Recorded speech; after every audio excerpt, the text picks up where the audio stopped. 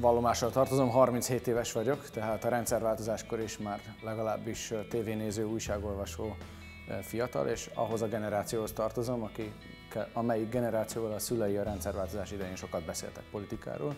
A politológus mindenhol ott van, tehát kell, hogy legyen íróasztala és számítógépe, amikor ír, kell, hogy legyen tévéje, amikor a tévében követi az eseményeket, vagy éppen az interneten a kommenteket, és természetesen kell, hogy legyenek ügyfelei is, akikkel akár tanácsot ad, akivel megbeszél, akiktől információt szerez. Balatonbogár elkötelezett híve vagyok, és ha van szabad időm, amiből az az igazság, hogy olyan kevés van, hogy néha még borotválkozni sem tudok, szóval ha van szabad időm, akkor a Balatont választom.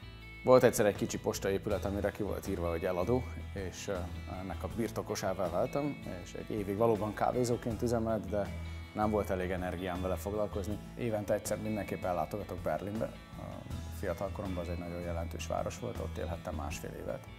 Illetve hetente megpróbálok úszni, ami persze egy individualista sportág, de mégis engem nagyon-nagyon kikapcsol. A sportot, akik szeretik, annak két típusa van, az egyik nézi, a másik csinálja, én az utóbbiba próbálok tartozni.